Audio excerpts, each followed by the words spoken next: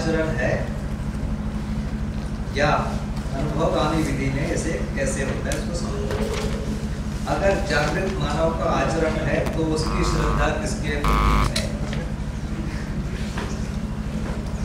बढ़िया प्रश्न तो यह है कि मान लीजिए कोई मनुष्य जागृत हो गया तो जागृत होने के लिए बहुत सारे लोगों ने उनको मदद की होगी तब वो पहुँचे वहाँ। तो जागृत होने के बाद क्या करेगा? वो उनको कोसेगा कि वो बना रहेगा बना रहेगा जैसे बाबा जी के जीवन की एक बड़ी छोटी सी घटना है विवाह के संबंध में जब बात हुई उन्होंने बोला हमको विवाह नहीं करना है। तो घर वालों ने समझाया उन्होंने माना नहीं। तो बोले गुरु जी से पूछ लो। जाते ही साथ गुरु जी ने बोल दिया कि तुमको गृहस्थ आश्रम में रह के भजन करना अब यदि उसको नहीं कर माने होते तो फिर यह दर्शन तो नहीं परिवार मूलक समाज व्यवस्था वो लिख नहीं पाते और लिखते समय लिखना पड़ता है कि बार बार की मैं इसमें प्रमाणित नहीं जैसे अभी बार बार लिखते हैं कि मैं प्रमाणित हूँ। उसमें बार बार लिखते हैं कि मैं तो वो बहुत छोटी सी घटना है वो कहने की। लेकिन कितना बड़ा उसका प्रभाव है।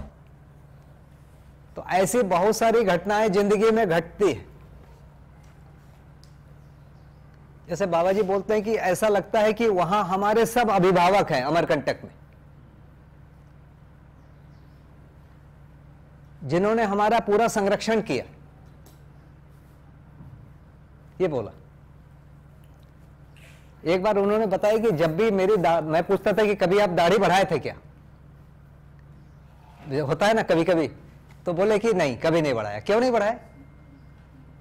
तो बोले कि यहाँ पर एक पड़ोस, वहाँ पर एक नाई परिवार था। बोले, वो खुद ही देख लेता था, कभी भी मेरी एक दो दिन की दाढ़ी बड़ी आके बना के चला हमको सोचना ही नहीं पड़ा। मतलब लोगों ने भी साधु बनने नहीं दिया। साधु माने दाढ़ी वाला साधु। तो यदि वो भी बढ़ा लेते तो वैसा दर्शन नहीं लिख पाते।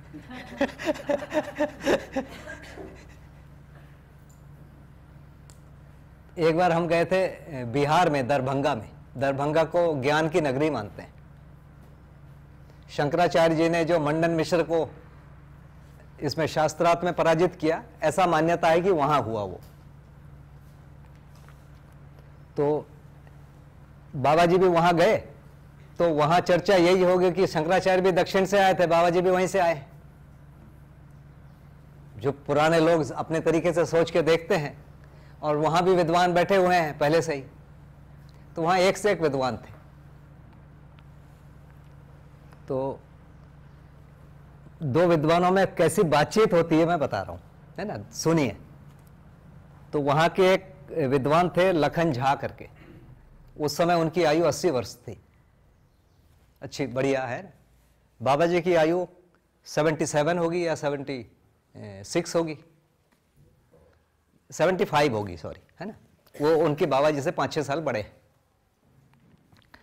तो पहले एक बार मिलने गए तो मिलने गए तो बाबा जी ने पूछा कि आपके बारे में तो बहुत सुने हैं कि आप यति हैं मतलब वो वाइस चांसलर रहे वहाँ के और स्वयं खाना बना के खाते रहे और एक रुपया तनख्वाह लेकर वो पूरा काम किए। तो बाबा जी ने उनसे बोला कि आपके बारे में बहुत सुना है कि आप यति हैं, तपस्वी हैं, विद्वान हैं। वर्तमान में आपकी निष्ठा का क्या स्वरूप है जानना चाहता हूँ। उन्होंने बोला कि मैं चातुर्वर्ण में विश्वास रखता हूँ और प्याज खाने वाले व्यक्ति के हाथ से पानी नहीं पीता वो उस परिवार के हैं जो मांसाहारी परिवार है। माने मांसाहारी शाकाहारी दोनों। वहाँ जो है ब्राह्मण परिवार है और वो ब्राह्मण परिवार मांसाहार करता है, उस परिवार से है वो। लेकिन उन्होंने अपना इंट्रोडक्शन क्या दिया? कि मैं चातुर्वर्ण में विश्वास रखता हूँ और प्याज खाने वाले के हाथ से पानी नहीं पीता। बाबा जी ने अगला लाइन बोला कि चातुर्वर्ण द्वेष से ग्रसित है। चातुर्वर्ण विचार द्वेष से ग्रसित है। तो उन्होंने कहा कि मैं इसमें सहमत हूँ। ठीक है? फिर बाबा जी ने बोला कि आपकी फिर निष्ठा का स्वरूप का क्या हाल हुआ? उन्होंने बोला, इसीलिए गाँव में आके बैठ गया हूँ कि अब हम कुछ नहीं कर सकते। दो बड़े लोग बात करते हैं, कहाँ पहुँचा देते समझ रहे हैं ना? उतना बड़ा आदमी ने दो लाइन में मान लिया कि नहीं, मैं जो हूँ वो ठीक नहीं। तो कैसे बातचीत होती है? वो आपको बताता हूँ। तो, तो वहाँ हम गए थे तो वहाँ पर बाद में फिर मैं भी गया। ये ये 95 में कभी गए थे हम तो दिसंबर में होगा या नवंबर होगा ठंडियों का दिसंबर ही होगा। तो वहाँ शिविर हो रहा था। तो उसमें तीन लोग थे। एक चौधरी जी थे वो यंग थे 40 45 या अर्ली 50 में होंगे। वो शिविर ले रहे थे, वो वो दाढ़ी रखते थे, काले रंग की दाढ़ी थी, एक का दुक्का उसमें सफ़ेद थी। एक सिंधु चाचा गए थे, जो बाबा जी से भी पाँच छः साल बड़े थे, एकदम वाइट कुर्ता वाइट पैजामा वाइट बाल वाइट दाढ़ी इतनी लंबी। एकदम ऋषियों जैसा उनका पूरा गेटअप था। और एक बाबा जी थे, धोती पहनते थे, बनियन पहनते थे कभी कभी कुर्ता पहन लेते थे, और दाढ़ी वाड़ी कुछ नहीं। तो और लोग आए कई लोग बैठे थे, तीन अलग अलग गोष्ठी थी तो बाबा जी के पास कुछ लोग बैठे थे, थोड़े ज़्यादा संख्या में बैठे थे, है ना? काली दाढ़ी वाले के पास कुछ लोग और बैठे थे, थोड़े कम थे, सफ़ेद दाढ़ी वाले के पास और कम लोग बैठे थे। तो एक वृद्ध व्यक्ति आए, ऐसा देखे तीनों जगह, उसके बाद हमसे पूछते हैं, असली महात्मा कौन सा है?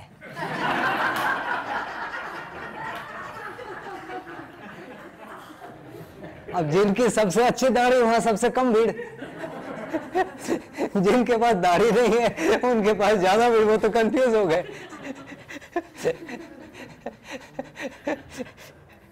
तो वो जो बता रहे हैं ना, जो मेकअप कपड़ा, ये बहुत सारी चीज़ें परंपरा में लोगों ने मदद किया और उससे आए। तो उनके प्रति श्रद्धा हमेशा बनी रही। बाबा जी का यदि आचरण देखेंगे, बाबा जी ने कभी नहीं बोला वहाँ के बारे में यही कहा कि यहाँ के लोग जो है हमको संरक्षण दिए। सुप्रीम कोर्ट के चीफ जस्टिस आए थे वेंकटाचलैया जी, उन दिनों वो चेयर में थे। तो उन्होंने माता जी से परिचय कराया। बाबा जी माता जी को महात्मा कहते थे। और ये बोला कि मैंने इनके संरक्षण में साधना किया है। हमेशा ही बोलते थे, उनके सामने भी यही बोला। और हमेशा अपने गुरुजी के बारे में मतलब बहुत बड़ा ओपिनियन हमेशा देते रहे। एक बार हमने पूछा कि बाबा जी, आपसे गुरुजी मिलते हैं? हाँ। क्या बोलते हैं? ठीक कर रहे हो? ठीक है। बोले, जो भी काम चल रहा है, उन्हीं के मार्गदर्शन में चल रहा है।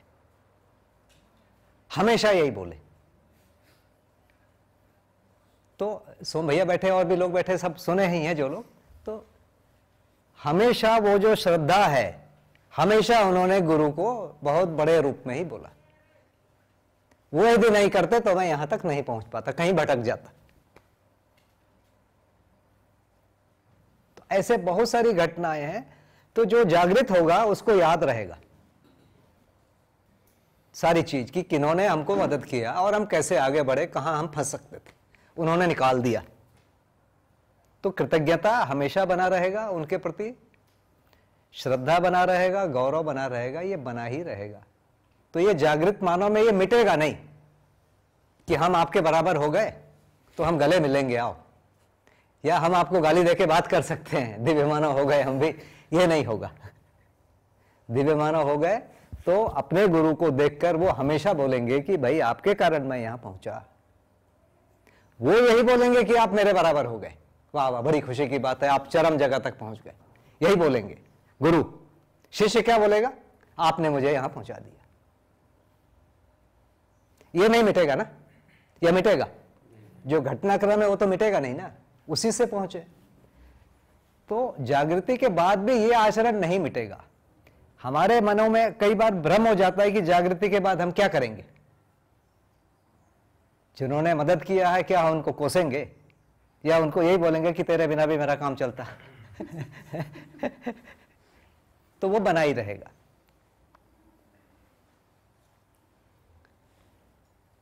हम लोग क्या करेंगे? जो जागृति क्रम में है, जो अध्ययन कर रहे हैं तो हमको भी समय के साथ होगा क्या? धीरे धीरे हमको वो सारी घटनाएँ जुड़ेंगी कि कहाँ कहाँ हम फंस सकते थे, हम निकल गए। वो आएगा। अभी हम करते क्या है? अपने आप को ही तो देख रहे हैं। वो चीज़ें जुड़ती जाएगी और बहुत सारी जो दुर्घटनाएँ हैं, वो मिट जाएगी। दुर्घटनाएँ मतलब हम मन में मान कर रखते हैं कि कोई हमसे, हमारे साथ द्वेष करता था। हम ही जब कॉलेज में पढ़ते थे तो हमको लगता था कि टीचर हमसे चिढ़ता है। टीचर हमको फेल करना चाहता है। इस आयु में मैं सोचता हूँ कि टीचर चाहता ही नहीं है ऐसा। टीचर चाहता है कि बच्चा जो है निकले वहाँ से, आगे बढ़े। नहीं तो वो टीचर ही नहीं है। तो टीचर है मैंने ऐसा चाहता ही है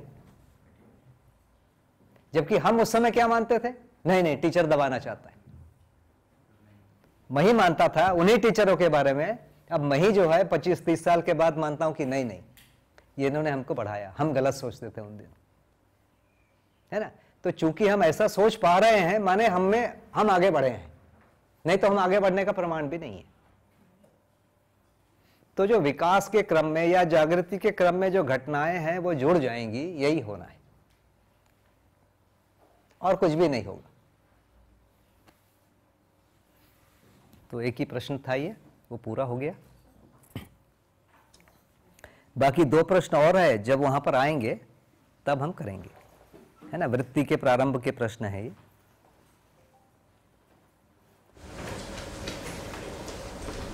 स्वत्व और स्वतंत्रता क्या है? और स्वतंत्रता। स्वत्व और स्वतंत्रता। स्व क्या है? स्व माने आत्मा। या जीवन। उससे कम में नहीं है। तो वो माने क्या है? व्यवस्था के रूप में। तो मानव जब व्यवस्था के रूप में जिएगा वो क्या स्वरूप होगा? वो उसका स्वत्व हुआ। तो कभी भी मानव है तो न्यूनतम उसमें स्वधन है। होगा ही होगा, नहीं तो मानव है ही नहीं। स्वनारी या स्वपुरुष है और दयापूर्ण कार्य है। इस चीज़ को स्वत्व बोल रहे और इसके साथ और आगे चीज़ें जुड़ी हुई इससे कम में हो ही नहीं सकता। है ना? स्वत्व को यदि न्यूनतम जगह में कहीं पहचानने जाएँगे तो वही होगा। मान लो कोई विवाह नहीं किया है, मान लो वो स्वनारी स्वपुरुष उसका भी वैसा नहीं है तो क्या करेगा? स्वनारी स्वपुरुष वाले संबंध का सम्मान करेगा। ये सही है, जो किया है वो सही में है, उसको स्वीकार करेगा, उसको सम्मान करेगा। खुद भले ही नहीं किया हो लेकिन इसको तो सम्मान करना ही होगा उसको।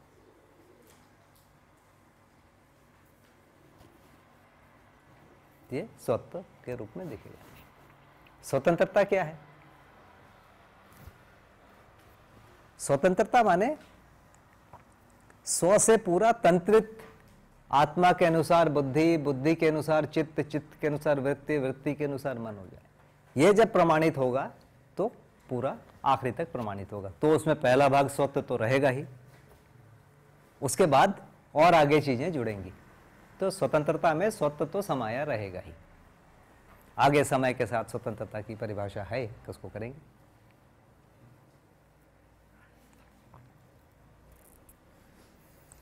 वात्सल्य और सहजता। वात्सल्य है अभ्युदय के अर्थ में पोषण, संरक्षण की निरंतरता। पोषण के बिना वात्सल्य नहीं दिखेगा। संरक्षण के बिना वात्सल्य नहीं दिखेगा। इसको उल्टा करके मैं बोल रहा हूँ। या दोनों में से एक तो दिखना ही पड़ेगा। संरक्षण का मतलब हम थोड़ी सी चर्चा किए थे। जैसे एक छोटा सा उदाहरण देता हूँ मैं बार बार दो चार उदाहरण ही है, उसको एकदम कंट्रास्ट वाले जैसे मान लीजिए एक डाकू का बच्चा है। डाकू का बच्चा को क्या डाकू संरक्षण दे पा रहा है?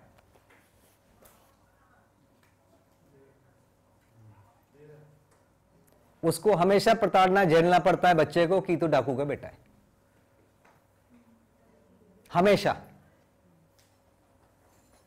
कि नहीं? उसको संरक्षण मिल ही नहीं रहा है। लोग उसके ऊपर शक करते हैं। तो अब वो कितना भी कर ले डाकू, बंदूक से चारों तरफ़ घेर दे, लेकिन संरक्षण नहीं दे सकता। संरक्षण क्या है? जहाँ लोग उसको स्वीकार करें, लोग उसको सही दिशा में ले जाने के लिए तैयार हो जाएँ, लोग उसके जीवन के में, के रूप में सम्मान करें। सुरक्षा वो स्वतंत्र यह है, संरक्षण है। तो संरक्षण देने योग्य कौन है? जो खुद चोरों की तरह छुप के रहा है, वो कैसे कैसे को संरक्षण देगा? डाकू आज यहाँ, कल वहाँ, परसों यहाँ भाग भाग के घूम रहा है। यही है ना उसका जीवन। वो कैसे संरक्षण देगा? संभव नहीं। तो संरक्षण के लिए एक हमारे पास योग्यता चाहिए। यदि उसमें मैं जी रहा हूँ ऑटोमेटिकली संरक्षण है। मैं ऐसा जी रहा हूँ यदि तो संरक्षण दे रहा हूँ। क्या स्वरूप है फिर? मैं अच्छे से जी रहा हूँ तो मतलब मेरे चारों तरफ़ अच्छे लोग हैं। अब वो अच्छे लोग होने के कारण मेरे पास जो छोटा बच्चा है, उसको भी वो अच्छे लोग संरक्षण दे रहे हैं। यदि कोई पर धन, पर नारी, पर पुरुष और पर पीड़ा में जी रहा है तो उसके चारों तरफ़ जीने वाले लोग क्या हैं? जो ऐसा जीना चाह रहे हैं या जी रहे हैं। वो जहाँ भी रहेंगे वो किसी को नहीं छोड़ेंगे। यही करेंगे वो, क्योंकि कुछ आता नहीं उनको। तो वो संरक्षण दे ही नहीं पाएगा। तो संरक्षण का स्वरूप क्या है? मैं स्वधन में, स्वनारी, स्वपुरुष में और दयापूर्ण कार्य में जी लूँ। मैं संबंधों का निर्वाह कर लूँ। इसका नाम ही है संरक्षण। ये करना, अपने आप में संरक्षण देना है। इसके साथ ही वो पूरा एक ग्रुप बनेगा एसोसिएशन बनेगा, और वो संरक्षण देगा। तो संरक्षण बड़ा फैक्टर है।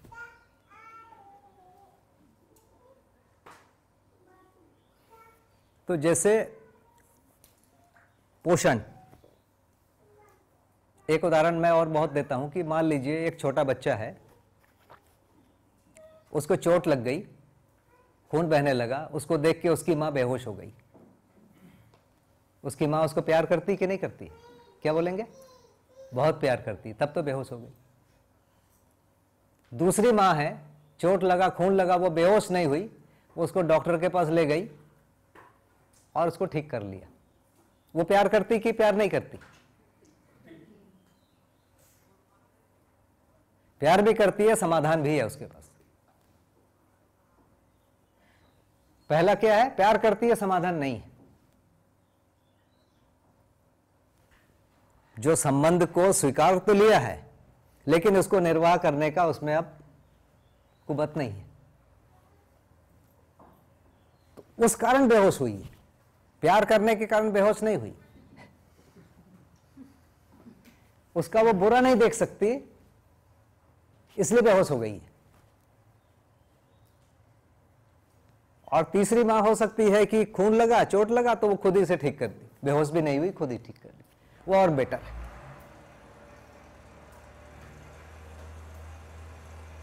ठीक है? तो हम पोषण को कैसे देखेंगे? पोषण को जानना। ही पोषण दे पाना है। मैं पोषण को नहीं जानता, कैसे पोषण दूँगा? पोषण के खिलाफ कोई जा रहा है तो उसको रोकूँगा ही रोकूँगा, उसको समझाऊँगा। कि भैया आप ये जो कर रहे हो, ये पोषण के खिलाफ। यही होगा ना पोषण देने का तरीका। तो माता पिता बच्चों को पोषण देते हैं। कितने दिन? पहले खिलाते हैं। फिर धीरे धीरे बोलते हैं कि, बेटा, पानी में नहीं जा, बेटा, ये मत खा, बेटा, वो मत खा, ये खा, वो खा, करते रहते हैं। एक समय में बच्चा खुद समझदार हो जाता है क्या खाना है, क्या नहीं खाना है, सीख जाता है। उस दिन माँ की चिंता दूर होती है कि अब ये ठीक समय पे खा लेगा, ठीक समय पे उठ जाएगा। तब तक माँ परेशान है। इसका और बड़ा स्वरूप है कि वो स्वावलंबी हो गया, अपना वो पोषण कर लेगा, इतनी उसको अकल आ गई। तो पोषण कहाँ तक जाएगा? एक बच्चा अपने स्वावलंबन को प्रमाणित कर दे, तब तक उसको पोषण चाहिए। उसके पहले माँ बाप कैसे तृप्त होंगे? हो ही नहीं सकते। तो पोषण कब प्रमाणित होगा? जब वो स्वावलंबी हो जाएगा, तब माँ को लगेगा, पिता को लगेगा कि अब ये पोषण करने योग्य हुआ। स्वावलंबन प्लस सही जीने का, सही शरीर को पोषण करने का तरीका और अभ्यास। सुन लिया है, रट लिया है, लेकिन उसकी प्रवृत्ति दूसरी है। तो भी माँ बाप को भय लगेगा कि नहीं यार, कभी भी ये गलती कर देगा। तो पोषण प्रमाणित होगा कब? 20, 22, 25 साल का कोई समय चाहिए। जहाँ वो पोषण को समझेगा अभ्यास करेगा स्वावलंबी होगा और वो उसका प्रमाण आ जाएगा। तो ये जो तृप्ति है इसको होने में 15 साल 20 साल 25 साल का एक समय चाहिए। जिस दिन वो स्वावलंबी हो जाएगा उस दिन उसके माता पिता निश्चित होंगे उस दिन वो भी तृप्त होगा उस दिन माता पिता तृप्त होंगे। तो न्याय की घटना कब होगी? 20 साल 25 साल के बाद।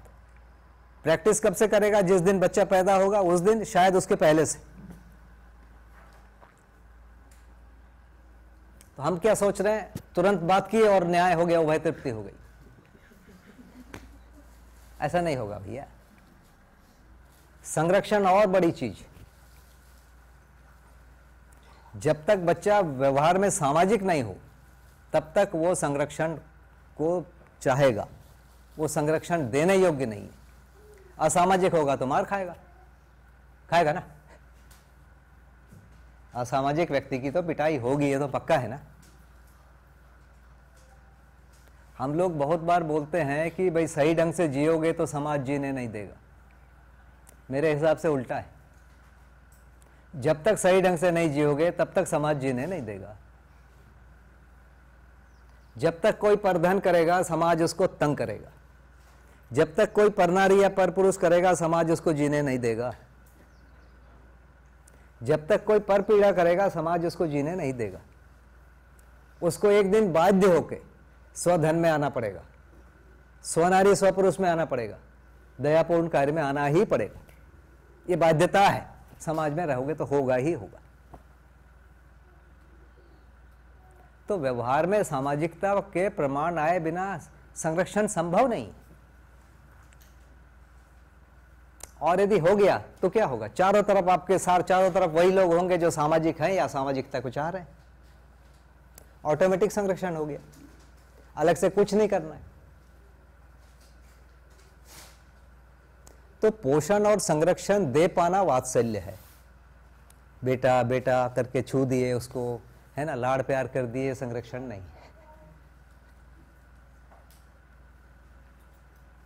ठीक है, हम क्या सोचते हैं? संरक्षण? छू दिए, लाड़ प्यार कर दिए, बेटा बेटा बोल दिए हो गए ये नहीं है। संरक्षण वो है। वो कब दे पाएँगे? जब हमारे पास होगा। मैं खुद डर रहा हूँ, चोरों की तरह भाग रहा हूँ तो मैं कहाँ दे पाऊँगा? मुझे लोग ढूंढ रहे हैं, मैं कहाँ दे पाऊँगा? नहीं दे पाऊँगा। तो ये जो योग्यता है, ये पोषण और संरक्षण देने के लिए कोई सक्षम हो जाए, उसमें जो भाव आएगा, वो आएगा वात्सल्य। वो यदि किसी में नहीं है तो वात्सल्य आएगा ही नहीं। भाव माने होना। मुझमें यदि होगा तो ऑटोमेटिक वात्सल्य आ जाएगा। मुझमें नहीं है तो मैं कितना भी वात्सल्य वात्सल्य बोलता रहूँ, नहीं आएगा। किसी में नहीं आएगा। तो ये स्थिति को यदि मैं अचीव कर लेता हूँ, पोषण को और संरक्षण को समझ जाता हूँ, उसमें मैं स्थापित हो जाता हूँ तो ऑटोमेटिक मैं पोषण और संरक्षण देने ही हो जाता हूँ। फिर पूरी प्रक्रिया का नाम फिर वात्सल्य। तो मोटा मोटा सारी क्रियाओं में सारे आचरणों में यही समझ आ रहा है कि अच्छा कुछ लेवल पर आपको जो यहाँ पर इंफॉर्मेशन मिलती है, उससे आप एक मोटा मोटा आइडिया हर आचरण का बनाएँ, उसको फिर अंदर मतलब बाहर प्रैक्टिस करके आपको उस आचरण वो महसूस होना ज़्यादा शुरू होगा, तब आपकी जागृति है एक तो है कि हम तर्क पूर्वक समझ लें कि यही आचरण क्यों करना चाहिए। पहला भाग ये है, जैसे मैंने बोला है कि पर धन, पर नारी, पर पुरुष, पर पीड़ा करेंगे तो समाज मारेगा। उसको एक दिन लग जाएगा कि ये गलत कर रहा हूँ, मारेगा ही मारेगा, अब मैं भाग के नहीं रह सकता। और यदि ये कर लिया, सोधन सोनारी सब कुछ तो समाज अब नहीं मारेगा, मैं शांति से रह पाऊँगा। तो वो करने लगेगा। तो एक दिन वो एहसास हो गया कि ऐसा करना है। तो एक स्टेप तो तब पूरा हुआ। उसके बाद दूसरा स्टेप शुरू होगा कि उसको अपने आने की कोशिश करेगा। और एक दिन वो पूरा होगा। तो दो भाग हुए। पहला समझना समझना में भी तार्किक रूप से समझ लेना कि हाँ ये सही है, ये गलत है। मतलब भास और आभास हो जाए। वो एक स्तर है। भास तो सबको ही है। भाई, बदमाश को देख के लोग डरते ही है ना। मतलब भास है उसको। तो भास और फिर आभास। ये दोनों होने के बाद या कुछ लोग तो पहले से ही जी रहे हैं ना। देखिए, आप छोटे बच्चे को देखिए, वो ऐसा नहीं झगड़ा करते हुए जीता है। कहीं झगड़ा भी करता है तो कहीं उसको भूल भी जाता है अगले बार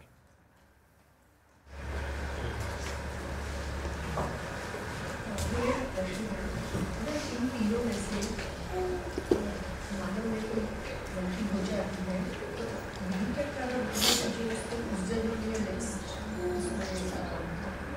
गलती गलती हो जाए तो वो दुखी होगा, उसको सुधारने का सोचेगा। दुखी होकर सुसाइड कर लिया मैंने, मान लीजिए मैंने कोई गलती कर लिया और सुसाइड कर लिया तो क्या हुआ? सॉल्यूशन थोड़ी। गलती हुई, किसी ने मेरे हाथ पैर तोड़ दिए। ठीक है, तोड़ दिए। सही तो करना पड़ेगा ना।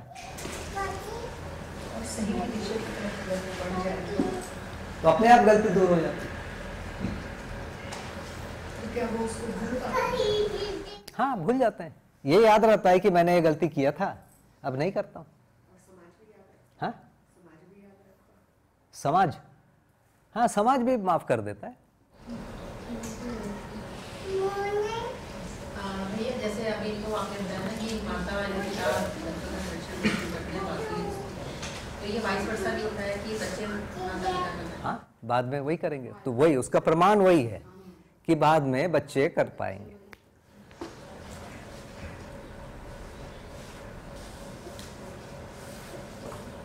ये पूरी प्रक्रिया वात्सल्य होगी। हाँ। वाइस वर्षा हो जाएगा। तब ये वात्सल्य तो वही वो फिर अपने से आगे वाली पीढ़ी को तो करता ही है ना वो। माँ बाप को भी करेगा उसके बाद। आवश्यकता होगी तो करेगा नहीं होगी तो नहीं करेगा। कई बार आवश्यकता नहीं होती तो नहीं करता है भी आजकल के इसमें जो देखते हैं तो बच्चे माँ बाप इस तरीके से ध्यान नहीं रखते या रखना नहीं चाहते। पहले ऐसे नहीं होता तो क्या माँ बाप की तरफ़ से वात्सल्य भाव में कमी है या क्या? हमने ट्रेनिंग दिया बहुत लंबा कि बेटा घर में रहोगे गाँव में रहोगे तो पिछड़े रहोगे। तुमको दिल्ली में जाना है या तुमको अमेरिका में जाना है। हम उसके कान में भर भर के भर भर के भर भर के उसको भेजे। और वो चला गया। चला गया तो हम रो रहे हैं। फिर ये भी तो करते हैं ना कि हम खाना सजा के प्लेट में दे देते हैं उसको पता ही नहीं कि प्रोसेस क्या होती है। प्रोसेस क्या होता है? कभी हमने वो भी नहीं किया कि भाई देख कितना समय लगता है। या बच्चे शौक में ना करना चाहते हैं उन्हें रोकते हैं। हाँ? नहीं पढ़ जा जाके बेटा तू पढ़। करते ही है हम ही उसको किए हुए हैं। तो ये तो पता होना चाहिए कि जो घर की सफ़ाई है कितना बढ़िया कितने समय लगता है उसमें। तो हम उसको पोषण संरक्षण को सीखने ही नहीं दे रहे हैं। उसको कट ऑफ़ करके रखते हैं। कुर्सी और टेबल में बैठो ऐसे ऐसे करते रहो। करता है वो बेचारा। करने के बाद पत्थर बन जाता है। जब पत्थर बन जाता है तब फिर हमको लगता है कि देखो क्या हुआ। जब हम थोड़े असहाय होने लगते हैं ना तो है। तो मेन जो कारण ऐसा नहीं कि बाहर चले गए बच्चे तो कट ऑफ़ हुए सेम शहर में रहते कॉम्प्लेक्स में रहते हुए भी ना मतलब मैंने ऐसे देखा है अपने आसपास कि एक फ्लैट में जबकि कमरे भी हैं फिर भी नहीं रह सकते। दूसरी बिल्डिंग में वहाँ रह रहे हैं आना जाना भी कर रहे हैं बट साथ में नहीं रहते हाँ? और साथ में नहीं रहना और हमको नहीं करना कोई दूसरा करेगा हमारे बदले उसको हम पैसे दे देंगे। उससे अधिक वाला ये। है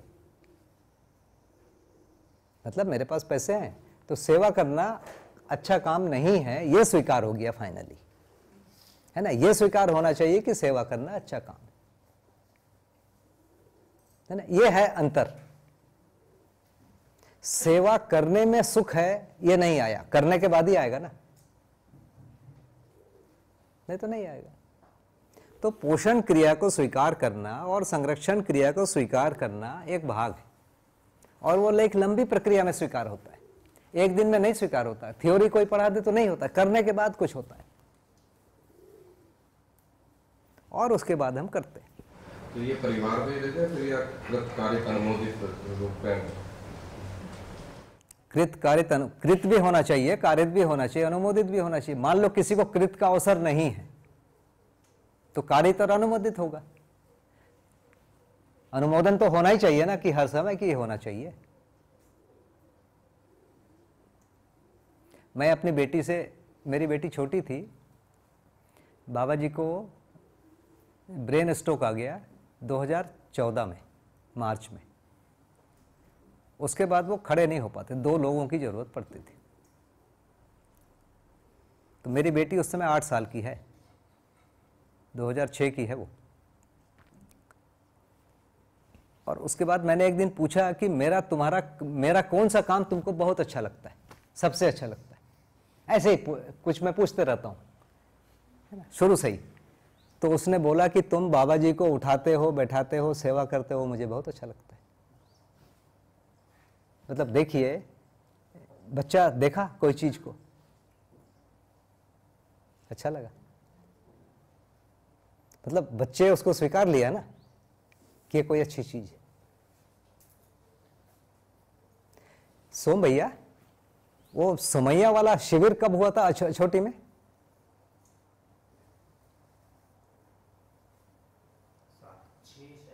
छः नहीं छः तो नहीं है। आठ होगा या नौ होगा? आठ है ना? अक्टूबर महीना करीब होगा या नवंबर? है? ठंडी का समय था, वही अक्टूबर, नवंबर है ना? तो देखिए, ये है मार्च में पैदा हुई है छः में तो डेढ़ साल करीब करीब है वो, है ना? नवंबर है तो डेढ़ साल है। एक साल नौ महीना ऐसा है। वो जो समय था उस समय सोम भैया शिविर ले रहे थे और हम लोग सब बैठते थे। तो मेरी बेटी छोटी थी दो दिन वो बर्दाश्त की। तीसरे दिन मेरे को पूछती है कि तुम कब बोलोगे?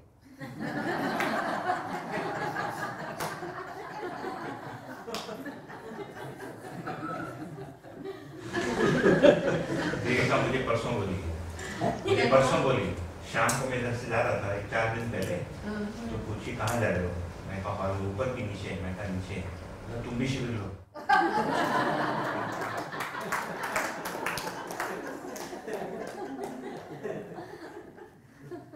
देखो एक साल नौ महीने में उसको समझ में आ गया कि शिविर लेना कोई बड़ी चीज़ है। एक। दूसरा तुम भी लेने योग्य हो। हम सोच रहे हैं बच्चे को समझ में नहीं आता। मेरी पत्नी भी बोली कल परसों। वो भी बोले कि तुम भी बोला करो ना कुछ।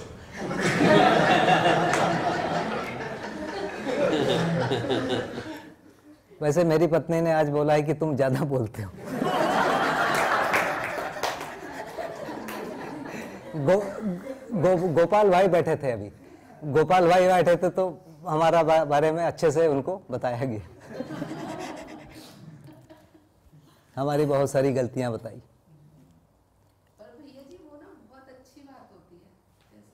देखिए हम हम अभी जैसे क्या बा, क्या बात हुई मैं थोड़ा बता देता हूँ है ना? यदि बहुत ज़्यादा आप डिस्टर्ब नहीं हो तो। मैंने कभी परिवार का ध्यान नहीं दिया ये बात उन्होंने बोला। न यहाँ ना अमरकंटक में।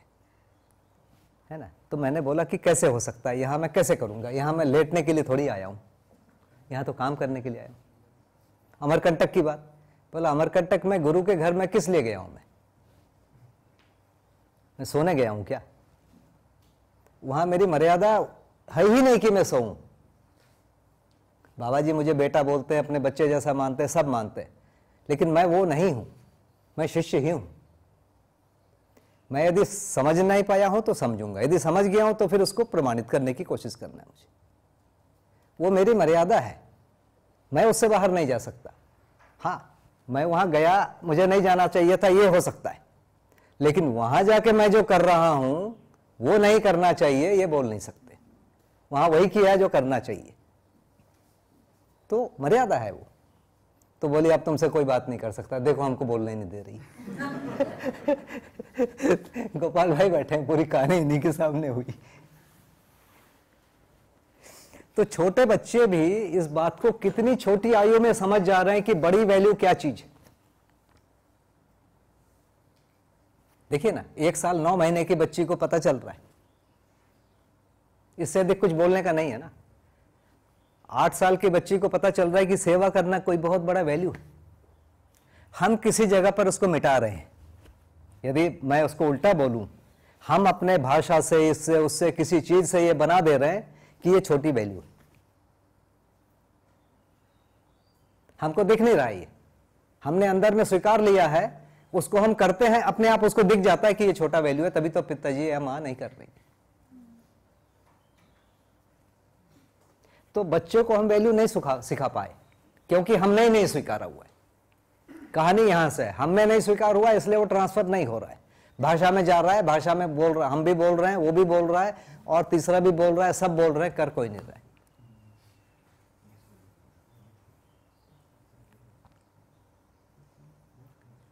तो पोषण और संरक्षण जो है, उसके साथ वात्सल्य जुड़ा हुआ है। वात्सल्य का जो प्रमाण है, उसका नाम सहजता है, स्पष्टता एवं प्रामाणिकता। व्यवहार रीति विचार एवं अनुभव की एक सूत्रता। ये कई बार सरलता और सहजता एक ही जैसा लगता है। दोनों में क्या है? देखिए सरलता माने अन्यों में गुरु मूल्यन। माने आपकी अच्छाई को मैं पहचान लेता हूँ। खासकर वो भाग जो मेरे से श्रेष्ठ है। कोई चीज़ मेरे में है, उससे अच्छा आप में यदि है, उसको मैं पहचान लूँ। इसका नाम है सरलता। ठीक है? ऐसा तो है ही नहीं कि सब चीज़ मेरे में होगा। मेरी छोटी बेटी है, लेकिन कुछ चीज़ मेरे से अच्छा उसमें होगा ही। हर चीज़ में मैं तो आगे नहीं होऊँगा ना, किसी से भी। तो ऐसा हर चीज़, हर व्यक्ति में दिख सकता है या है ही, उसको मैं देख लेता हूँ। यह चीज़ को कहते हैं, मुझमें सरलता आ गई। वो देखने की मेरी ताकत है वो। नहीं देख पाता हूँ, माने मेरी सरलता नहीं है। तो सरलता वास्तव में क्या है? मेरे जीवन का वो स्तर है, विकास का वो स्तर है जहाँ मैं अच्छाई को पहचान पा रहा हूँ। ये इसका नाम सरलता है। सहजता सहजता बड़ी चीज़ है जहाँ प्रामाणिकता भी है और स्पष्टता भी है। रहस्य नहीं। है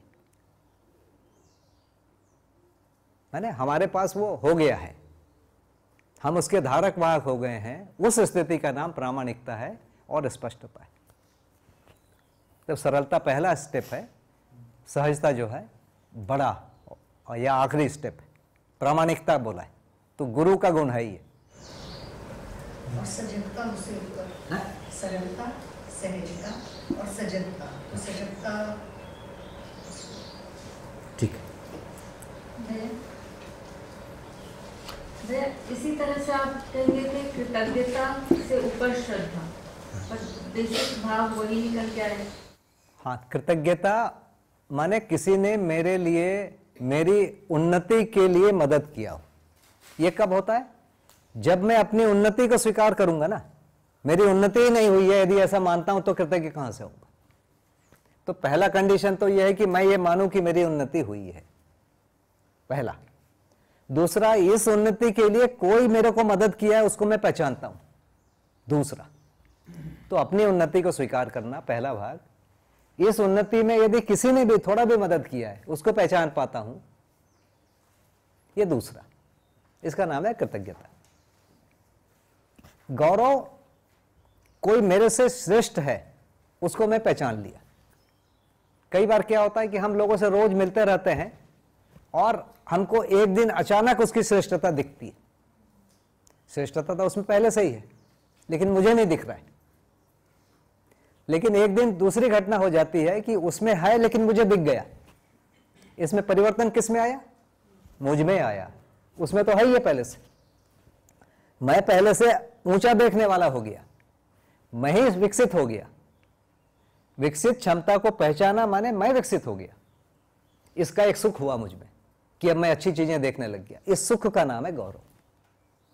गौरव मुझमें आ गया क्योंकि मैं श्रेष्ठ चीज़ों को देखने लग गया। अब श्रेष्ठता जहाँ जहाँ है, वहाँ वहाँ मुझे देखने लगेगी, क्योंकि वो क्वालिटी में देखने योग्य हो गया। ठीक है, ये क्या हुआ? गौरव। श्रद्धा इससे और ऊपर है। वो क्वालिटी मुझमें आ जाए, ऐसा मेरे अंदर इच्छा संकल्प बन जाता है। इसका नाम है श्रद्धा। आप में कोई अच्छी क्वालिटी पहचान लिया तो गौरव वो क्वालिटी अब मुझमें आ जाए। इसके लिए जो प्रयास है इसका नाम श्रद्धा। ये गौरव हम ज़्यादातर अपनेपन से जोड़ के देखते हैं। हाँ, ये जहाँ रहते हैं वहाँ का एक भाषा का एक स्टाइल है उसमें ऐसा है मध्य दर्शन के हिसाब से गौरव का मतलब है जो जागृति वाली स्थिति में जो ऊपर हैं जागृति पूर्णता तक। उसको पहचानते तक हमको बार बार गौरव होते रहेगा। मैं आज यहाँ पर हूँ और यहाँ को पहचाना तो गौरव होगा यहाँ को पहचानूँगा तो फिर गौरव होगा यहाँ को पहचानूँगा और ऊपर पहचानूँगा फिर गौरव होगा। यह होते रहेगा होते रहेगा। हाँ? मानवता देव मानवीयता दिव्य मानवीयता तक गौरव का क्रम बना रहेगा। इसमें जो सहजता आपने बोला कि वात्सल्य का तो तो मतलब प्रेम का प्रमाण भी हो सकता है संतोष का प्रमाण भी हो सकता है। हाँ, देखिए वात्सल्य देने वाला जो आदमी होगा कम से कम उसमें संतोष होगा। नहीं तो वात्सल्य के लायक आदमी नहीं है। व्यवहार में सामाजिक और व्यवसाय में स्वावलंबी हुए बिना संतोष कहाँ से है? तो वो एक स्टेटस है एक व्यक्ति पा जाता है उसके बाद उसमें अपने आप व्यक्त होता है। तो प्रेम तो और बड़ा है। जिसमें वात्सल्य जिसमें प्रेम है उसमें वात्सल्य है ही है। लेकिन ऐसा हो सकता है कि अभी वात्सल्य है प्रेम नहीं हुआ है। यह भी स्टेट हो सकता है। यानी गौरव है ये इसका प्रमाण तभी है जब श्रद्धा हो। श्रद्धा हो। हाँ अगर श्रद्धा नहीं है इसका मतलब कहीं ना कहीं जब आप किसी को यहाँ यहाँ परिभाषा थोड़ा अलग क्रम से सजा है। कि गौरव तो हो गया क्योंकि मैंने श्रेष्ठता पहचान लिया। लेकिन मैं वैसा बनना अभी नहीं चाह रहा हूँ। तो केवल गौरव है, अभी श्रद्धा नहीं है। लेकिन आप में श्रेष्ठता है, मैं पहचान लिया, अब मैं मैं वैसा हो जाऊँ ऐसा चाहने भी लग गया। इसका नाम फिर श्रद्धा यहाँ जो परिभाषा लिखी हुई है, मध्य दर्शन में वो ऐसी अगर अनुभव मूलक ही हो रहे हैं तो अब आप अनुभव मतलब आप मानव पद में तो हो ही गए तो वो श्रेष्ठता फिर देव मानव और दिव्य मानव पद के प्रति ही रहा।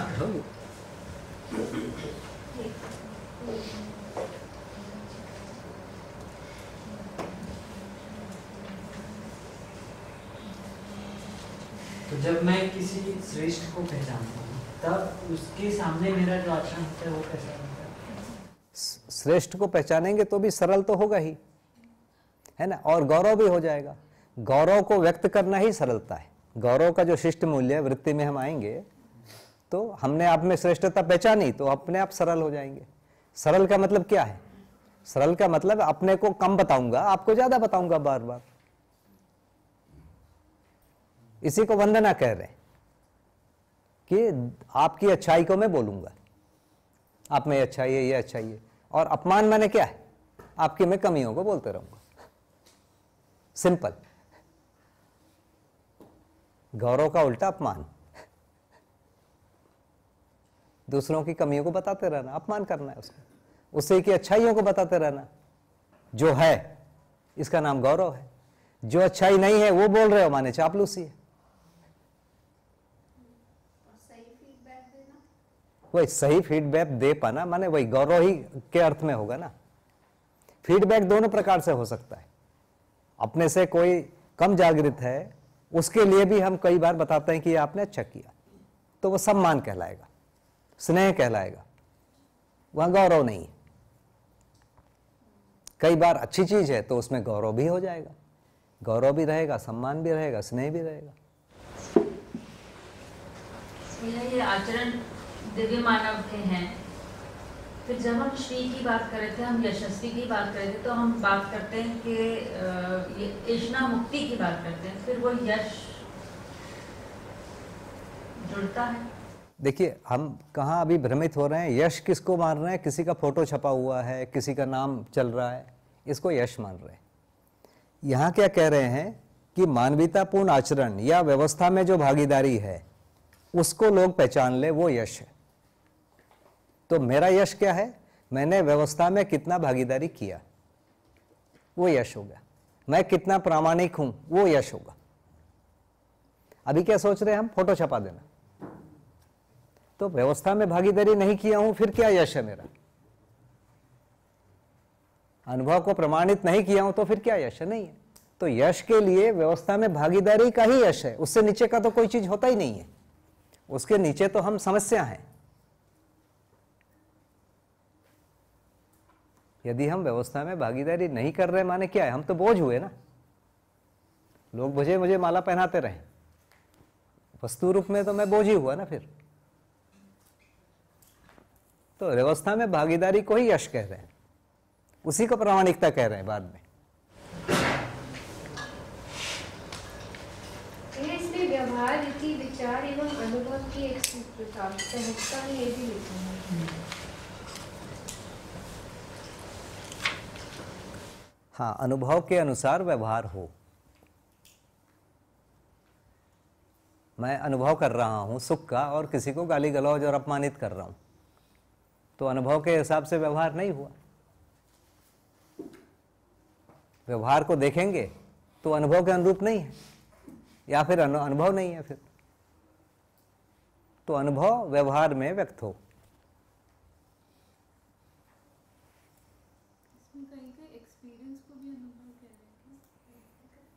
एक्सपीरियंस माने इंद्रियों से होने वाला आस्वादन। क्योंकि उस जगह भौतिकवाद में स्वीकार ही नहीं किया गया है कि इंद्रियों से अधिक कुछ होता है।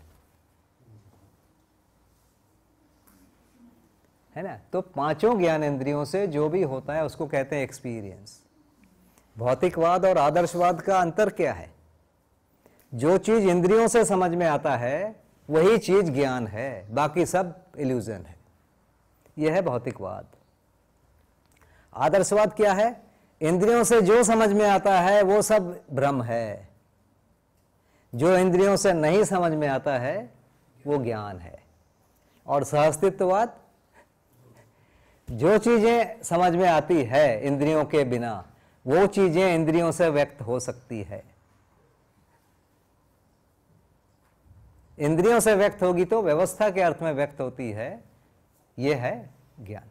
तीनों में ये मोटा मोटा अंतर है।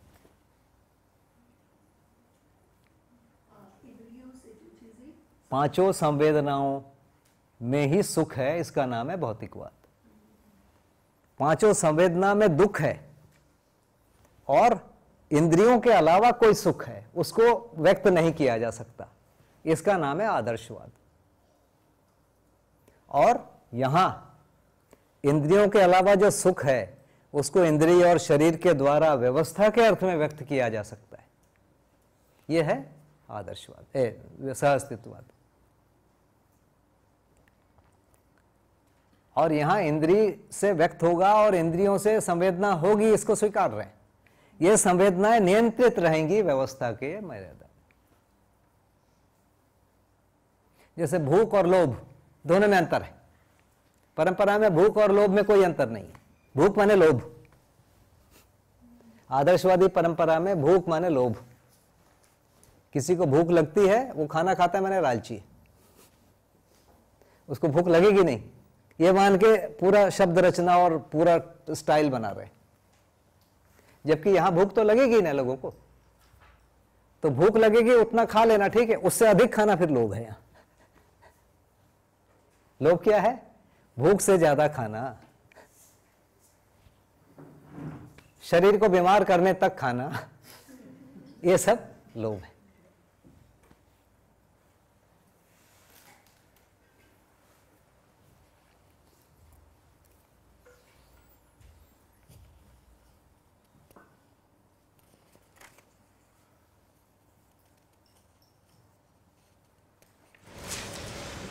230 रहे संतान का अर्थबोध होना अपरिहार्य है। रूप बोध तो शायद आप कोई जैसे कि आप पहचानते हैं।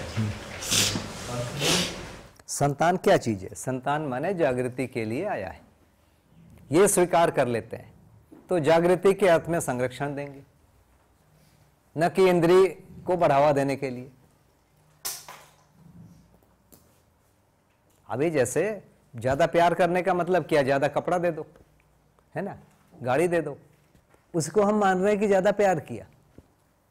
इंद्रिय आसक पढ़ाए यदि बच्चा इंद्रिय आसक की तरफ़ बढ़ रहा है तो उसको चेताना तो पड़ेगा। ये भी ठीक नहीं है बोलना होगा किसी जगह पर। है ना? और इसको व्यवस्था, यदि इंद्रियों से अनासक्त है बहुत ज़्यादा तो भी उसको बोलना पड़ेगा, ये ठीक नहीं भाई, स्वस्थ मनुष्य की इंद्रियाँ तो काम करेंगी ना। तो भी बोलना पड़ेगा।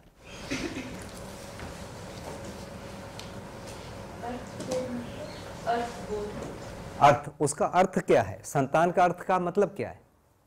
संतान माने एक मानव जन्म लिया है प्रमाणित होने के लिए।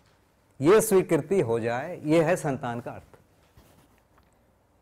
मनुष्य जो इस धरती पर आया है जागृत होने के लिए और जागृति को प्रमाणित करने के लिए। इस रूप में हम स्वीकार रहे हैं।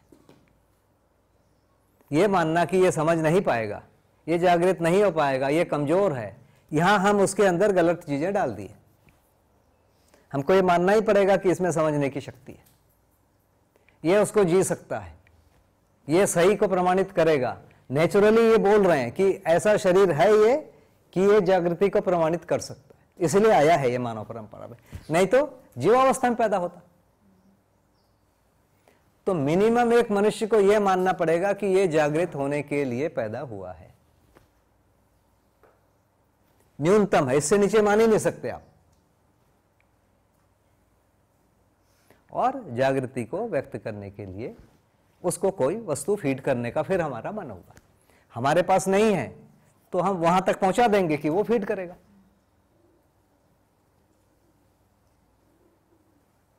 इतना ही है।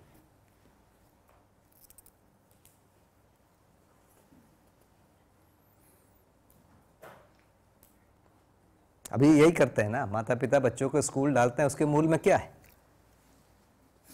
हम नहीं पढ़ा सकते, हमारे पास समय नहीं है, हमारे पास योग्यता नहीं है तो वहाँ ले जाओ भाई, करेंगे। मूल भाव वही है। बच्चा माँ बाप से झगड़ा करता है गुरु जी से नहीं करता है, टीचर से नहीं करता है। माँ बाप की नहीं मानता है, वहाँ पूरी मानता है।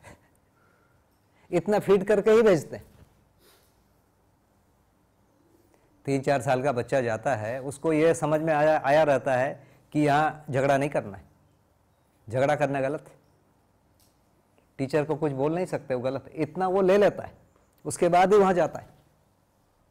बोलते हैं ना, बच्चा कोरा स्लेट है, कोई कोरा वोरा नहीं है। इतना वो ले लिया है कि ये बहुत श्रेष्ठ है। यहाँ हमको स्वीकारना है। नहीं तो जाएगा ही नहीं वहाँ। श्रेष्ठ नहीं स्वीकारेगा तो जाएगा क्यों? टीचर माने बहुत ज़्यादा। सारे बच्चे टीचर की एक्टिंग करते हैं। सारे छोटे बच्चे। नहीं वो समान मतलब श्रेष्ठता को स्वीकार है तभी तो छोटे बच्चे कह रही है आप शिविर लो। तो इसका मतलब उन्होंने उसको स्वीकार किया। और